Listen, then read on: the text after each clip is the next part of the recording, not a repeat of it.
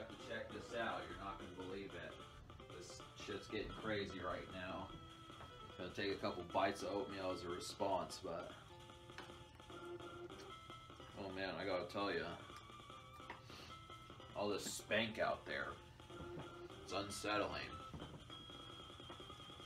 You gotta know about it. I mean, it's probably on your phone. Can I see it? Yeah, go ahead.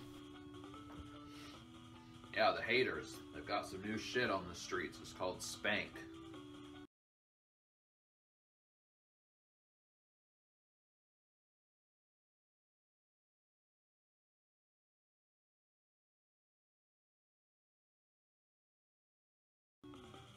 What to do. Or, yeah, there's a phrase going around. Don't spank my bitch up. I don't know what to do. People are saying it. I hear it. And this is weird. It's where I saw someone at Walmart bopping their head to like some shaggy and shit. And then I saw him over in the fucking orange juice section and he was like, Oh, I could really use some. Don't spank my bitch up. Crazy. Too much spank in the world. Way too much spank. That's the moral of that story. To be particular, I'm gonna have to park it, you know.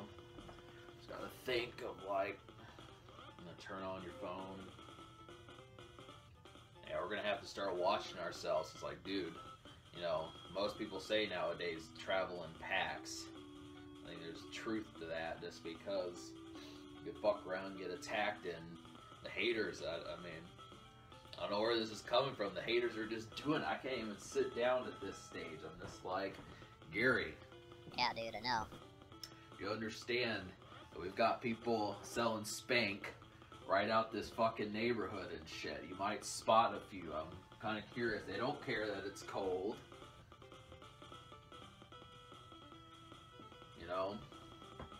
They want to sell it to women in jogging pants. They want to sell it to guys walking their dogs. Like, give the dog some spank. I don't know what's going on. It's a problem. Crime is up. Surely you've noticed this. Yeah, we've really got some problems though. If, if this spank doesn't get out of here, there's going to be a spanking good problem. so, yeah, I'm just telling the truth. I mean, that's just the thing. I mean, too much spank is the moral of that story.